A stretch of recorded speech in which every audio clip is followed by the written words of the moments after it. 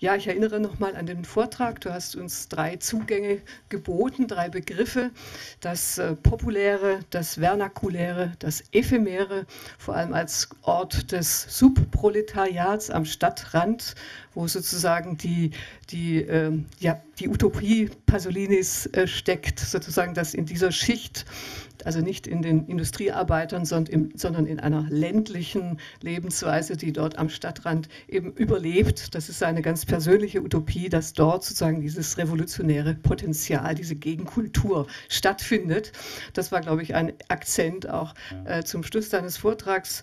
Vielleicht könnte man noch, noch mal ergänzend einführen, dass diese, wie du es genannt hast, der kulturelle, kulturelle Genozid Genozid, der durch die dominante Pasolini Mittelklasse, so ja, also das ist bestimmt Pasolini, ja, äh, der, der die, die dominierende Mittelklasse meint und die, den Triumph des Konsumismus in Pasolinis Begrifflichkeit, ist natürlich eine Kritik der Linken. Ne? Also was mit dem Namen Togliatti eingeführt wird, mit, äh, mit dieser Position des Linksintellektuellen, verkörpert in dem Raben, der immer versucht, eben dieses Volk nun zu belehren und über seine Situation aufzuklären und ihm Geschichte beizubringen, ne? Geschichte des Klassenkampfs beizubringen, über diese schöne Legende vom äh, Franziskus, der die Vögel äh, bekehrt. Da äh, haben die ja sozusagen eine andere Rolle als in der Realität mhm. des äh, Stadtraums.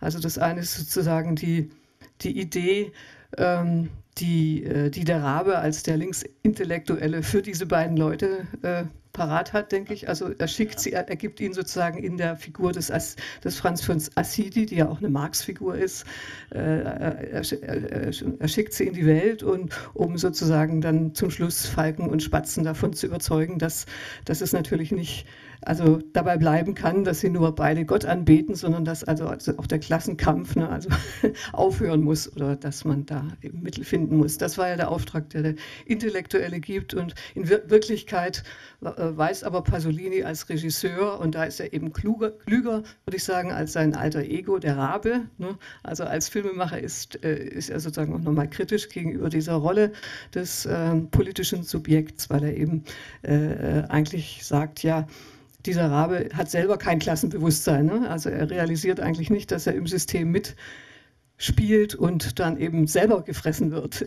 von den, von den beiden. Das äh, ist ja also ein sehr schönes Ende. Und mit diesem Fressen und gefressen werden haben wir es ja öfter zu tun bei Pasolini. Es ja. geht ja gleich weiter dann nächste Woche.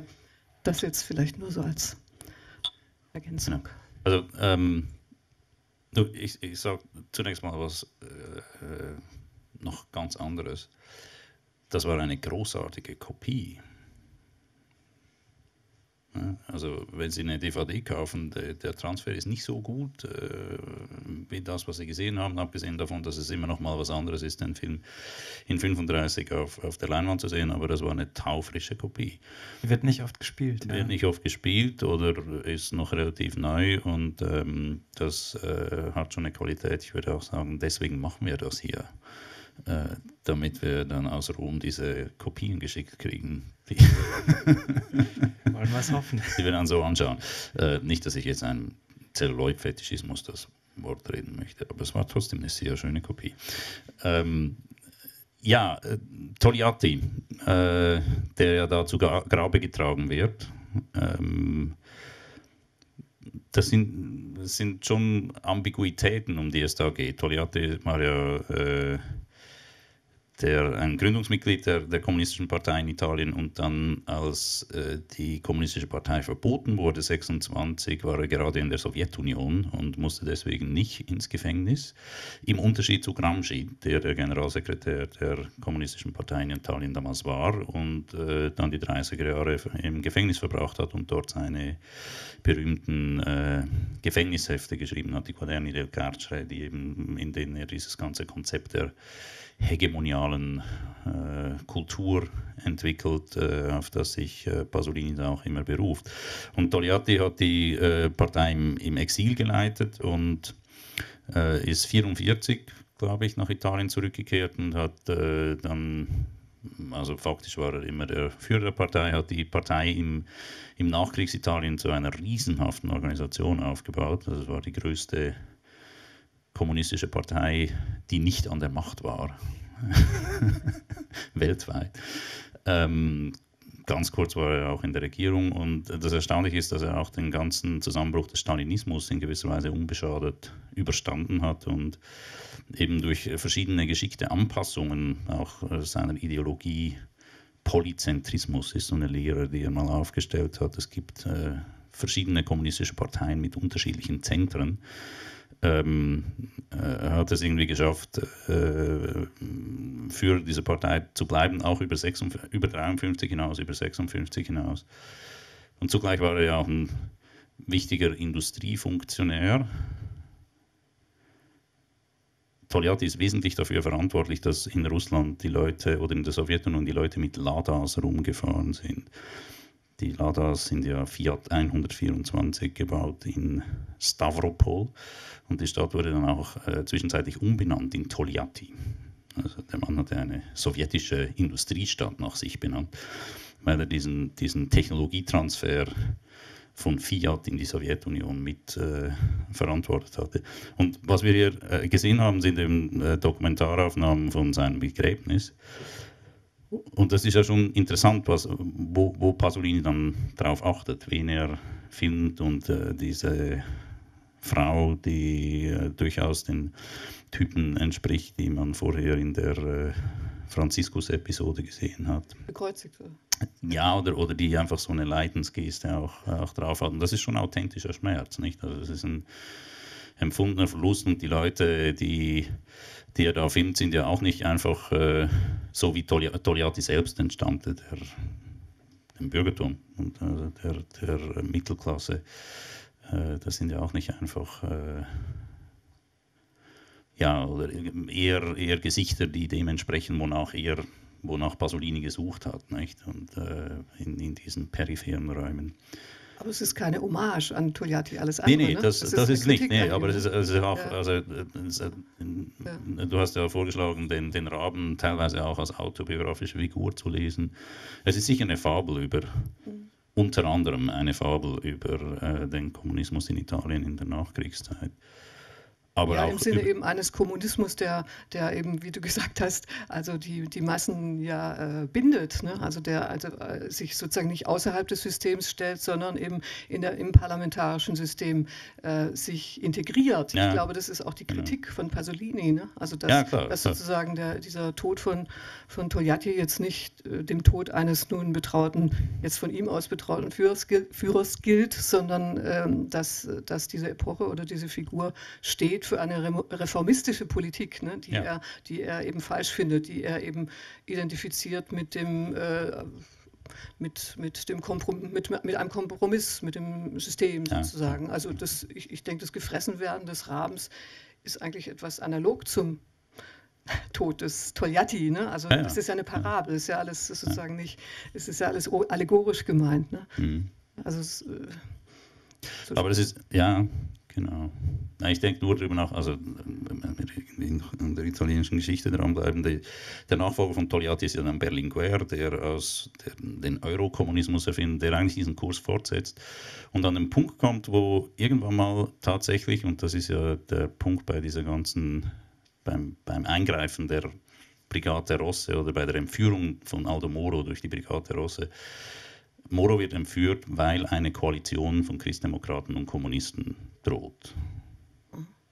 Und also das, das ist Genau, auch das ist was der große Kommunismus wird. Nicht? ja. Das, das ist eine, eine äh, große Koalition italienischen Stils, die da vorbereitet wird. Und äh, das, da, das ist sicher nicht äh, Pasolinis Position und, und diese, wenn man in gewisser Weise will, auch übersteigerten Positionsbezüge in den publizistischen Arbeiten der späten 60er Jahre und frühen 70er Jahre, da geht es auch darum, diesen Konsens aufzusprengen und, und irgendwie die Linke wachzurütteln und zu sagen, das, Genau, das ja. geht nicht so. Wobei es keine irgendwie geartete Identifikationsfigur gibt. Ne? Das Schwierige an dem Film ist, glaube ich, dass er so, äh, so, plu also so plural ist in seinen äh, Erzählweisen und St- Stilen, so, so äh, ja, bewusst eklektisch sozusagen und auch äh, verweigert, irgendeine Figur zum Helden zu machen. Ne? So, weder die beiden sind Helden, sondern die werden ja auch als Ausbeuter gezeigt, ne? als so sozusagen klischeehaftes Bürgertum, Kleinbürgertum,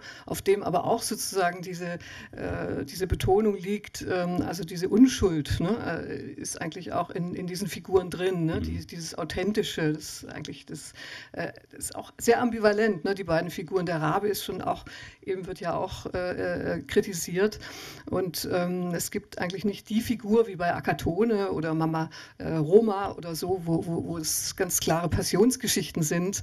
Äh, ne? Also das sind viel einfachere Geschichten. Und also meine Beobachtung war, ich habe den Film jetzt auch schon öfter gesehen, also eine Szene, die ich sehr spannend finde, ist die, wo chinesische Musik auftaucht und wo also ein ein Bogen zurückgeschlagen wird äh, in diesen Prolog, wo es ja um dieses Interview mit Mao geht und er mhm. sagt, ja, wohin die Menschheit geht, boah, weiß man nicht. Und das wird ja immer wiederholt von dem Raben, dass die nicht wissen, wohin sie eigentlich gehen in diesem mhm. Road-Movie. Und ähm, ja, also äh, auf dem Weg, also sie, sie, sie, äh, sie sind ja dann selber Ausbeuter, die, die also äh, diesem, dieser Frau, dieser armen Frau eben die Schulden nicht etwa erlassen, sondern sich da eben auch als Geschäftsleute äh, hinstellen. Und da taucht doch eben dieses Schwalbennest auf, was die Mutter dem Sohn zu essen gibt. Und dieser Sohn erscheint mir als eine Figur, ist eine stumme Rolle, die nur einmal auftaucht. Und ich glaube, das ist sozusagen die Figur des stummen ne, äh, ähm, kommenden äh, äh, äh, revolutionären Subjekts, wenn man es jetzt so pathetisch ausdrücken will, aus dem Subproletariat. Ne? Also der, der, der, der, das ist ein Träumer, ne? also der ganz äh, versunken in sich versunken da sitzt und, und sein Schwalbennest isst. Und das scheint mir ein Bezug auf Mao zu sein und sozusagen eine Art Modell äh, jetzt äh, für, für die Revolution. Also weil auch die chinesische Musik dann auftaucht und sie kriecht dann hier so auf den Knien mhm. eben vor, dem, vor den beiden. Äh, ja, das ist so eine Anmutung, dass mhm. man denkt, vielleicht ist da sozusagen ein, ein ganz ähm, eindeutiges Moment, eine eindeutige ähm, ja, wobei, ähm, ja, Pas Pasolini hat äh, ja mit Godard engen Kontakt gepflegt. Also er, er, fand auch La Chinoise ganz toll, äh, ist bekannt. Ähm, aber ich meine, Didi Übermann hat, als er hier war, äh, Godard gewissermaßen den Prozess gemacht, um uns zu zeigen, dass er immer noch ein Maoist ist. Nicht? Ähm, und ich glaube, das, das kriegt man bei, bei Pasolini so nicht hin, dass man irgendwie sagen kann, auch der, China. ja, nee, aber äh, das sind ja das sind immer ambivalente Geschichten. Es gibt ja auch, ich wollte noch zwei, drei andere Dinge äh, kurz anreißen, bevor wir dann auch Fragen annehmen. Nur ein Satz noch. Äh, es ist ja die, die beiden äh, Mönche, die versuchen, die Vögel zu bekehren, sind ja Semiotiker auch. Nicht? Also ja, die ziehen durch die Welt, um äh, Codesysteme ja. zu dekodieren. Mhm. Und das findet dann im zweiten Teil eine Entsprechung in dieser Figur, die ganz eindeutig eine Verballhornung von Umberto Eco ist. Der, der, Typ mit dem Bart bei den Dentisti Dantisti, also die dantistischen Zahnärzten, äh, der dann irgendwie un unsinnige Reden schwingt über diesen tollen Kriminalroman mit den blutigen Unterhosen bei Scotland Yard. Nicht? Ähm, und, und Eco, Eco, ist schon eine öffentliche Person zu diesem Zeitpunkt. Er ist in Italien gewissermaßen schon Umberto Eco und Pasolini setzt sich ja mit der ganzen Semiotik, äh, ähm, äh, auch französische Prägung, aber auch mit Eco auseinander. Da gibt es auch eine, einen Dialog und ähm, äh, das ist dann auch wieder eine kritische Auseinandersetzung. Und der andere Punkt bei, bei, den, äh, bei der Bergpredigt, äh, Vogelpredigt. Um Fran äh, dem äh, Francesco ist, äh, das bei Curtius steht, Ernst Robert Curtius steht irgendwo, die italienische Literatur fängt nicht bei Dante an, nicht bei Petrarca, sondern bei der Vogelpredigt. Das ist die Urszene der italienischen Literatur. Ähm, also das ist die, der, der Punkt, wo es also wie eine vernakuläre äh, Literatur anfängt, aus der Romania heraus, aus dem äh, Erbzusammenhang der lateinischen äh, Schriftkultur. Ähm, und es ist mein, also wenn man jetzt diese ganzen Überlegungen zur Sprache nochmal aufgreift und äh, diese historische Behutsamkeit die aus dieser Kritik der Philosophie spricht, die ich zitiert habe. Ähm, was ich mir immer überlege bei, bei ähm, der Lektüre von, von Pasolini, ist, dass er eben schon auch in diesen Horizont reingehört. Das ist, äh, ja, der gehört eben zu dem, was, was Curtius aufmacht als lateinisches Mittelalter und aus dem eigentlichen Horizont, aus dem die europäische Literatur herkommt. Und das äh, scheint mir schon auch noch eine zusätzliche Bedeutungsebene zu sein bei diesem ganzen Franziskus. Ding, abgesehen von allen kunsthistorischen Referenzen, die es da auch die Semiotik. gibt. Ja, und äh, Franziskus natürlich auch als Lumpenproletarier. Ja, genau. Sozusagen. Ja. Doch, wir haben Fragen war, aus dem war eine Wortmeldung, bitte um Ihre Beiträge ich komme dann mit dem Mikro zu Ihnen. Ich dachte, da wäre eine gewesen. Ich glaube, ich habe gar nicht richtig gefragt. Wir sind natürlich sehr interessiert an Ihren Rückmeldungen und Kommentaren yeah, aller Art. Mark, please. Danke. Ich hätte gerne was zum Humor gehört. Um, ähm, Komödie, Witz. Der Film ist witzig. Um, ähm, Pasolini, es ist so, wenn ich mich richtig erinnere, der erste irgendwie witzige Pasolini-Film, aber zumindest seine Zusammenarbeit mit Toto, dann ähm, führt er fort in diese unglaublich tolle Kurzfilme, die wir dann später sehen werden. Und ähm, verliert er dann dabei auch seinen Ruf irgendwie, ähm, weil wir sprechen jetzt sehr ernst über ernsthafte Themen, ähm, aber er hat eine Entscheidung, ähm, witzig über solche Themen zu reden. Und ich würde auch gerne eure Meinungen dazu hören.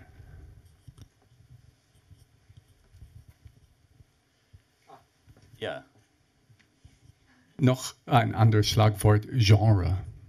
Vielleicht, wenn ich sage Witz, weil, weil auch diese chinesische Szene scheint mir sehr geprägt von einer Art Genre-Klischee. Um, ähm, es fängt an auch mit dieser Western-Einstellung um, ähm, durch die Beine, so diese Italo-Western. Um, und man hat durch den ganzen Film so eine Art um, Film-Intertextualität, was ja. eher durch Genre abgeht. Und so in dem Sinne ja. geht Pasolini mit der ganzen Filmgeschichte ab. Man hat diese neorealistische Szene. Ja. Gleich am Anfang, Rossellini ist tot. Okay, so, so ich denke, Genre, ja, Komödie, vielleicht passen sie dann irgendwie zusammen. Die, ja, genau, also die, die, äh, die Wandertheatertruppe, das ist ein eine Fellini-Inszenierung äh, natürlich. Ich, ich habe mich sogar gefragt bei dem bösen Industriellen, dem Ingenieure, äh, habe den angeschaut und gedacht, das ist doch das Vorbild von Montgomery Burns bei den Simpsons. Apropos Semiotik und Comics und so, nicht? Äh, und äh, Matt Groening ist das zuzutrauen. Äh, also der hat den Film sicher gesehen. James L. Brooks hat ihn sicher gesehen. Äh, und, und, das passt schon. Also diese, diese Proliferation des, äh, der populären Genres äh, gehen in den Film hinein und gehen aus dem Film wieder, wieder heraus. Äh, da, da, bin ich völlig einverstanden. Ja, äh, im Hinblick auf die ideologiekritischen Lesarten kann man sich fragen, Godard ist ja immer vorgeworfen worden, er sei ideologisch unzuverlässig. Nicht? Die Romantiker, da wiederholt sich dann die Hegelsche Kritik an den Romantikern, die sind nicht ernst und äh, beziehen keine Position, kann man politisch nicht brauchen. Ähm, das Problem hatte Pasolini irgendwie nie. Auch mit diesem Film nicht. Äh, der, der Humor ist ihm nicht als ideologische Unzuverlässigkeit ausgelegt worden. Ähm, aber man kann sich natürlich fragen, ob das eine Rückzugsposition ist oder ob er sich damit auch wieder so einen von diesen peripheren Räumen oder Zwischenräumen schafft ähm, äh, wo er dann äh, fortlaufend sagen kann, na, so ist es aber nicht. Also sich den, den äh, eindeutigen ideologischen Festlegungen entzieht. Und äh, jeder, der ihm äh, kommen will und sagen will, das ist die das ist jetzt die historische Wahrheit, dem lacht er ins Gesicht und benutzt eben Toto als Instrument dafür. Christine Ott hat eine wunderbare Formulierung zitiert am Anfang, nicht diese Mischung aus dem Authentischen und dem hochgradig manierierten. Mingaldo, genau. Äh, und, und das eben, wie du sagtest, das trifft auf diesen Film sehr genau zu und es ist hochgradig reflektiert und in gewisser Weise manieriert artifiziell im Umgang mit den, mit dem Klischeeapparat des Kinos und gleichzeitig geht es immer darum, eine Öffnung auf, ich sage jetzt mal, das Reale zu erhalten. Und, und in diesem, in diesem äh, Spiel mit den Konventionen und in dem, in dem äh, Forcieren des Humors äh, zu verhindern, dass, dass man festgelegt wird auf eine Position, die es dann eben nicht sein kann. Denn in der, also äh, ich habe auch ein bisschen die, die äh, noch äh, äh, darauf hingewiesen, mit welcher relativen Gleichgültigkeit diese tatsächlich etwas alarmistisch wirkenden Aussagen von Pasolini zum kulturellen Genozid und so weiter wahrgenommen wurden von, von einer bestimmten Linken. Aber das ist eben genau die Linke, die er, die er kritisiert oder der, deren, deren äh, äh, selbstzufriedenen Gewissheiten er sich entziehen will. Und der ähm, Humor ist eine Kritik der Ideologie. Er ist nicht selbst ideologiekritisch, ohne weiteres, aber das ist ein Verfahren, das ist eine Prozedur, bei der es darum geht, ähm, die, die Position nicht gerinnen und gefrieren zu lassen.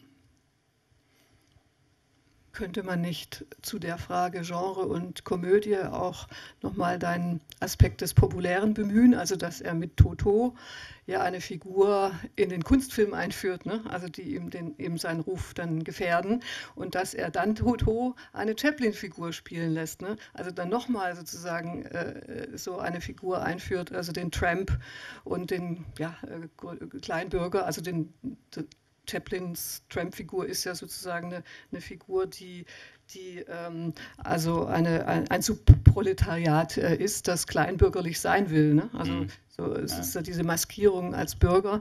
Und den führt er ja auf, also er bricht sozusagen diese dokumentarische äh, Ebene in dieser Figur. Und das passt doch hervorragend eben zu dieser ähm, Aufwertung des, des Populären, des nicht Wertvollen, ne? das, mhm. also das eben noch kein Kulturprädikat äh, hat, also irgendwie Low Culture ist. Und ähm, das passt da eben zu dieser politischen Ebene eben des Ephemeren und des, äh, der, der eben am, am Stadtrand ähm, äh, Lebenden. Ähm, also das sind, äh, ist, ist die Spiegelung äh, in, der, in der Kulturindustrie sozusagen, ja. dieser ähm, politischen Ebene, Wobei, dieses... Hast jetzt Aufwertung gesagt und ich bin nicht sicher, ob ich diesen Begriff... Ja, ich, ich, also ich würde es eher als Operation, äh, als Eruption, eruptive Operation äh, bezeichnen. Deswegen dieser, der, der, die Bezugnahme auf Pirandello man, man kann nicht äh, unterschätzen, wie, wie groß die Wirkung von dem war, was Pirandello gemacht hat. Das war ja auch, also Pirandello musste ja gewissermaßen unter Polizeischutz das Theater verlassen bei der Premiere. Nicht? Der hat da wirklich äh, an einem Ort, wo es sehr weh tat in der Kultur, der er angehörte, ähm, äh, reingeschlagen und was getroffen. Und diese, äh, also mein, meine These war ein bisschen, äh, das ist eine, eine Geste oder eine Operation, die Pirandello da etabliert hat im Feld der italienischen Kultur, die in verschiedenen Formen dann wieder kommt. Diese Verunreinigungen, dieses äh, Durchstoßen einer, äh, eines Codes der Repräsentation äh, kommen in verschiedenen Formen wieder und, und meine Behauptung wäre, dass äh, was Pasolini an Totò interessiert hat, war das, Potenzial, das er aufwies und anbot, eine solche Operation durchzuführen.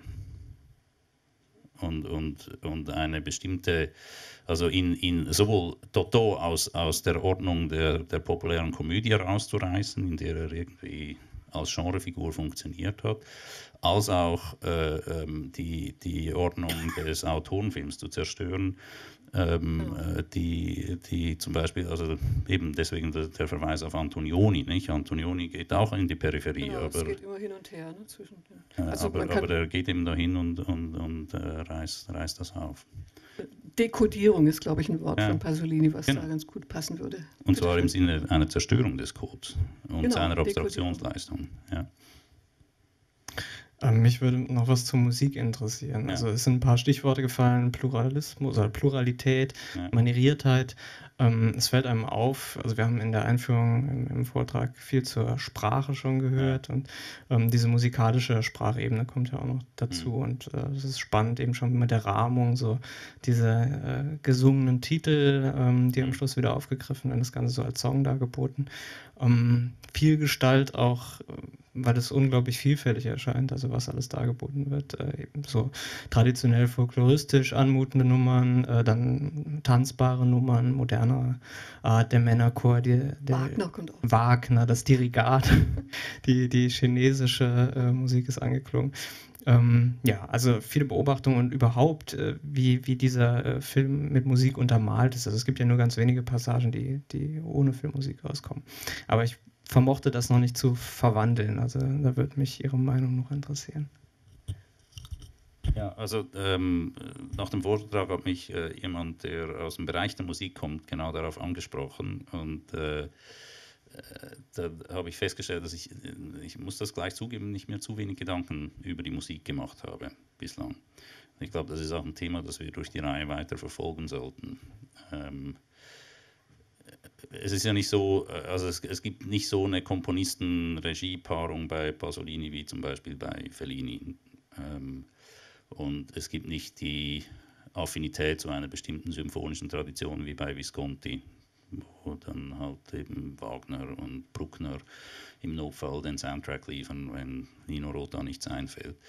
Ähm, äh, sondern es ist, es ist ein, eine hybride, vielgeschichtige Sache. Morricone ist natürlich der richtige Komponist für sowas, weil der äh, auch auf alle Register zugreift und, und äh, nicht irgendwie äh, irgendeiner Form von Purismus nachhängt.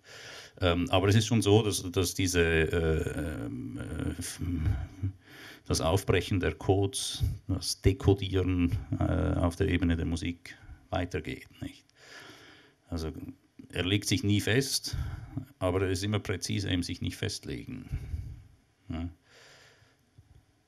Darf ich, bevor Christine Ott äh, etwas sagt, noch zu dem Musikpunkt was äh, beitragen? Mir ist eigentlich nur bei dieser Wagner-Stelle äh, aufgefallen, dass wie bewertend oder wie, wie, wie, er, wie er Musik äh, dann eben auch ähm, schon einsetzt, um äh, ja, also eine Ideologiekritik zu leisten, ganz äh, platt gesagt. Also an der Stelle ist es ja so, dass, dass, äh, dass dieses Siegfried-Motiv erklingt und dazu sieht man dann diesen, diesen ähm, äh, bärtigen ähm, dirigieren, und zwar nicht ein Orchester oder so. Umberto Eco. Das ist einer äh, Deutung nach Umberto Eco, was ja ziemlich interessant wäre, weiter zu verfolgen. Und er dirigiert ja ein schweigendes Publikum. Drüber steht auch noch Silenzium. Ne?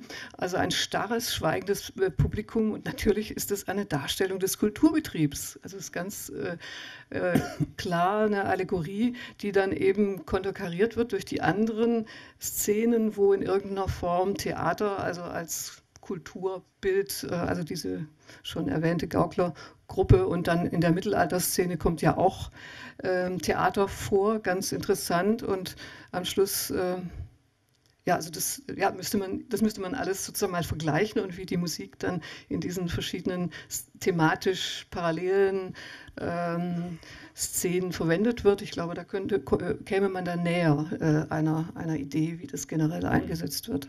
Ja.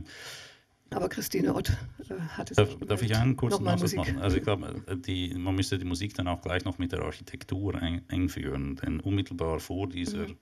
Szene mit den Bürgern und so äh, laufen sie auf den Horizont zu und da ist im Hintergrund das EUR-Gebäude, also das Esposizione Universale di Roma Gebäude, das so etwas wie den, den imperialen Turn in der rationalistischen Architektur markiert von 1938, weißt du, dieses, dieses ja, Boden, ja, der Würfel mit den pseudorömischen. Bögen. Ja. Und da gehen die irgendwie drauf zu und dann kommt diese Dentisti, Dantisti-Nummer und äh, dann der Einsatz von Wagner. Also das sind immer so äh, Verweislinien, die, die durchgehen. Velasquez im Hintergrund, ja. Infant auf dem Pferd. Ja. Ich finde die Frage mit der Musik auch hochspannend, kann dazu aber nichts sagen. Ich würde gerne zur Sprache noch was sagen. Also erstmal nur eine Anmerkung, diese, äh, Toto zitiert ja den, den Cantico del Sole von Franz von Assisi. Äh, zitieren kann man vielleicht nicht sagen, er, er verwandelt ihn dann wieder auf seine ganz eigene Weise. Ähm, ich fand das ganz genial, erstmal wie du im Vortrag auf äh, Pasolinis Sprachkritik eingegangen bist und dann diese Deutung mit, ähm, also da in, auch eine Parodie auf die Semiotik zu sehen, finde ich auch genial. Ähm, nur ähm, glaube ich, dass das Problem dieser Mönche ja das ist, dass sie, ähm, dass jede Klasse in ihrer Sprache bleibt. Also sie schaffen diese Übersetzungsleistung, aber sie schaffen es nicht, diese, diese verschiedenen Sprachen zusammenzubringen. Und dann ähm, zeigt sich ja der, das Problem, dass das unübersetzbaren Codes, äh, kann man vielleicht so sagen, da, eben auch in dem Dialog mit dem Raben, denn der Rabe ist, das ist ja Pasolinis Stimme. Und was ich auch interessant fand, das ist auch, der, der spricht ja genauso wie Pasolini in seinen Interviews, also dieses didaktische ja, genau. und, und er wird aber nicht gehört. Also insofern ist, ich, ich denke schon, dass der Rabe auch eine Identifikationsfigur ist. Pasolini ist aber er stellt sich dann als gescheitert dar. Ja. Das ist schon richtig. Der pädagogische Eros kommt da durch. Also, genau. Ich habe jetzt mal eine Frage allgemein zu den Filmen. Das geht ja, ja jetzt auch noch im nächsten Semester weiter. Nach welchen Kriterien haben Sie eigentlich die Reihenfolge der Filme ausgewählt und wieso haben Sie den jetzt als erstes in der Reihe gezeigt? Hatte der irgendwie besonderen Erfolg unter den Filmen Pasolinis oder das würde mich jetzt noch interessieren? Ja, der, der war schon ziemlich erfolgreich. Ne? Also Preise in Cannes und hm, noch ein, also drei Schauspielerpreise für den ähm, für den Toto. Ähm, mit Verlaub gesagt, die Planung dieser Reihe geht jeweils so, dass wir uns überlegen, wen wir gerne einladen würden. Dann fragen wir sie, wann sie Zeit hätten und welchen Film sie gerne zeigen würden. Und dann versuchen wir daraus irgendeine kohärente Ordnung zu machen. Und das heißt, wir fangen irgendwo in der Mitte an und hören am Anfang auf. Der letzte Film wird äh, Mama Roma sein, der zweite. Ähm, in der Hoffnung, dass sich über das Jahr hinweg irgendeine Form von Ordnung ergibt. Ähm, ein Konstruktionsprinzip ist, dass die, äh, die Organisatoren jeweils einen Auftaktvortrag machen. Und ich wollte diesen Film haben. An, die, an, dieser Stelle würde ich auch ganz äh, gerne selber noch eine kurze Frage stellen, weil ähm, ihr habt ja diesen Titel auch ganz bewusst gewählt für diese Reihe. Die ja. Revolution findet trotzdem statt. Ja. Ich würde das jetzt ganz gerne mal eigentlich fast mit keiner Frage auf den Film bezogen beziehen, sondern äh, sagt uns mal, was, was für Erwartungshaltungen habt ihr denn damit wecken wollen oder so, damit wir das am Ende wieder aufgreifen können, was ihr jetzt sagt. Äh, Vinzenz ist für die Pointen zuständig. Der Titel erklärt sich doch selbst. Was sagst du? Ja, self-evident. Irgendwann, irgendwo. Nein, es ist. Äh, das ist ein Regisseur, den man nicht äh, äh, schön bügeln kann. Da kriegst du diese, den politischen Einsatz kriegst du nicht raus, weil das of a piece ist, aus einem Guss mit dem ästhetischen Programm, die Sprachkritik, mit der Gesellschaftskritik. Ähm, und das heißt, wenn du dich auf Pasolini jetzt einlässt, dann kriegst du das alles mitgeliefert. Oder du schaust dir die Filme nicht richtig an. Ähm, dass aber diese Filme immer noch gesehen werden wollen, haben wir heute Abend ja gesehen, deutet darauf hin, dass diese Überlegungen, die er da anstellt, keineswegs äh, antiquarischer Natur sind, offenbar. Und es ist ja interessant, dass Pasolini in den 60er Jahren von bestimmten italienischen Linksintellektuellen leicht snobistisch gesagt wurde, aber das haben Adorno und Horkheimer schon vor 20 Jahren gesagt. Und Pasolini sagt, ja, aber es passiert jetzt und wirkt dabei überzeugender als eine ihn mit Schulterzucken versehenden Kritiker. Und äh, da ist immer noch irgendwas drin und die Frage der Reihe ist auch was. Ja, ist das eine Antwort? Ähm, ja, es ist eine Beobachtung, die aber auch was mit dem revolutionären Potenzial zu tun hat. Mir ist nämlich aufgefallen, das findet ja eigentlich alles in suburbanen Gegenden statt, äh, in denen sich am Ende nichts geändert hat. Und die einzige Szene, die in der Stadt gedreht ist, ist die Beerdigung mit den äh, Massen der Kommunistischen Partei. Und die tauchen vorher schon mal auf und äh, marschieren ja übers Land. Und ich bin mir nicht sicher, ob ich es richtig erkannt habe, aber es klang für mich wie die Partisanen von Amur, also ein ähm, Lied aus der ähm, ja. russischen Revolution. Also das ist einfach äh, mir aufgefallen, dass es gibt das Land, auf dem sich nichts ändert und in dem im Endeffekt der Rabe gefressen wird und es nur ums Fressen geht und ums Überleben und auf der anderen Seite gibt es die revolutionären Massen in der Stadt. Also ist das ein Aspekt in dem Film auch, diese Räume? Ja, würde ich, würd ich ja behaupten. Äh, und es ist eben, es ist eben signifikant, dass, dass der ganze Film in der Peripherie gedreht ist, mit Ausnahme dieser Begräbnisszene. Da kann man sagen, naja, es ging ihm darum zu zeigen, um, um dieses Argument, äh, diese Kritik an dem am, am Toliatismus vorzutragen und dann musste er in die Stadt gehen und das filmen und so weiter. Aber er sucht sich ja dann auch die Leute raus, die genauso ausschauen wie die, die er vorher in der Peripherie aufgesucht hat um zu zeigen, dass es äh, ein, so etwas wie eine Erwartung gab, die, äh, für die diese Figur stand, die er im Grunde enttäuscht hat, aber die eben echt ist. Und, und die keine urbane äh, Erwartung ist. Also die, die, wie er diese Gesichter rauspräpariert, wen er findet in dieser Masse drin. Dass er eben nicht äh, die, die Machthierarchie der Partei lange zeigt, die da brav marschiert und Berlinguer zuvorderst und so, äh, sondern, sondern auf, die, auf die Leute gehen, die, die ähm, erkennbar äh, eine, eine tiefe emotionale Reaktion auf dieses Ereignis zeigen und für die Togliatti was auch immer darstellte, aber jedenfalls nicht ein bürgerlicher Verräter, der irgendwie faule Kompromisse macht, das scheint mir schon signifikant zu sein.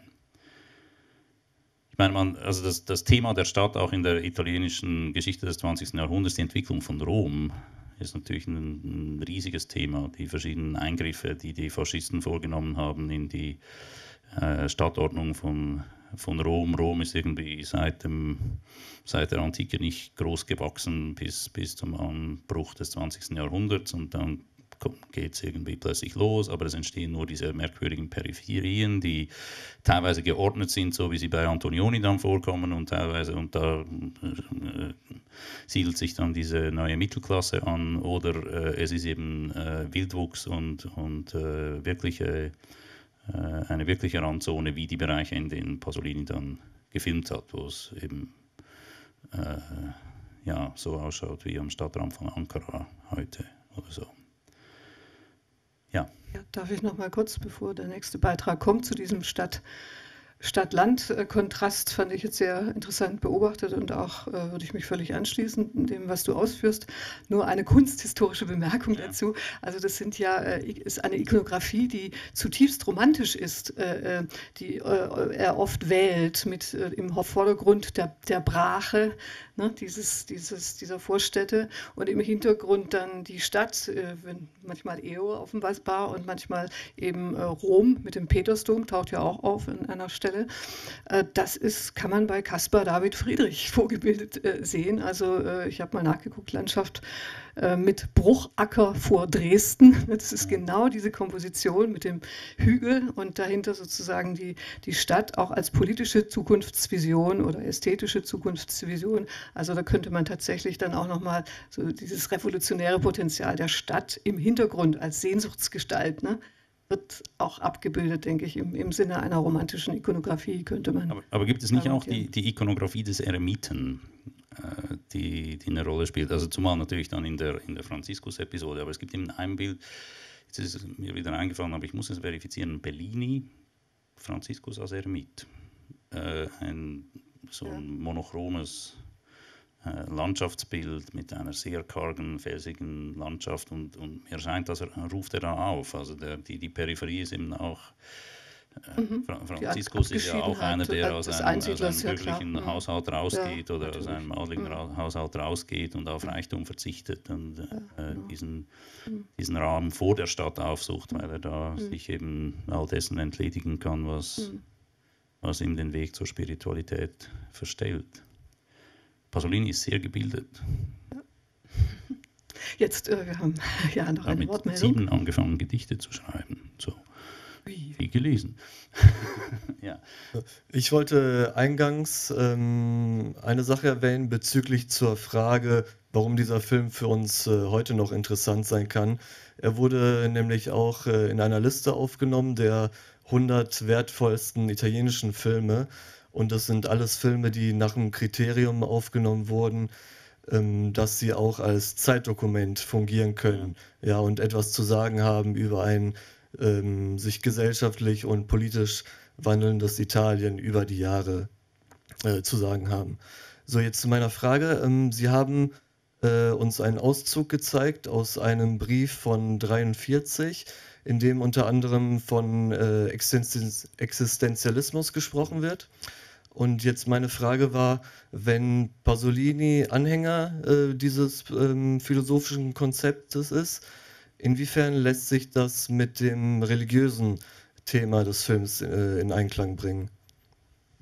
Also äh, zunächst mal würde ich sagen, äh, als Anhänger des Existenzialismus würde ich ihn nicht bezeichnen und er sich selbst wahrscheinlich auch nicht. Er sagt einfach, die ganze Philosophie kann mich mal mit Ausnahme des Existenzialismus, weil die, der hat einen poetischen Kern weil er das Dasein und die Angst zum Thema der Philosophie macht. Ähm meine, es gibt, ich muss kurz nachfragen, weshalb soll sich Existenzialismus und Religiosität oder Spiritualität völlig ausschließen?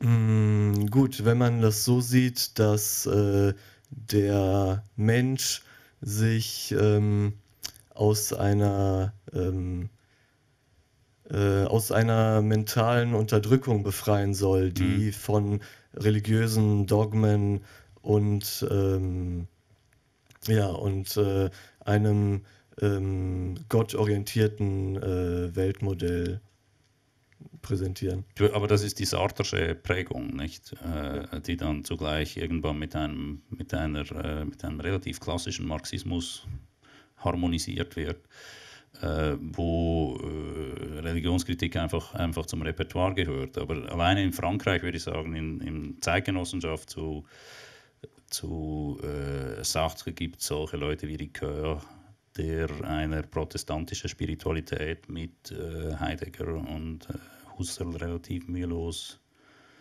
äh, verschenken kann. Also ich, ja, ich glaube, es ist einfach, also Pasolini sagt eigentlich, ich bin kein Philosoph und die Philosophie, Philosophie interessiert mich nicht. Äh, und diese ganzen großen Fragen, Welt, Seele, Gott, äh, Gerechtigkeit, in diesem abstrakten Sinne, ähm, das interessiert mich nicht, weil es nichts zu tun hat mit dem, was die Sprache eigentlich vermag, beziehungsweise die Voraussetzung dafür, dass man diese Art von Systemen bauen kann, ist, dass man der Sprache eine Gewalt antut, ähm, die ich nicht verantworten kann und die ich eitel finde. Das ist eine, eine ziemlich scharfe Kritik der Philosophie.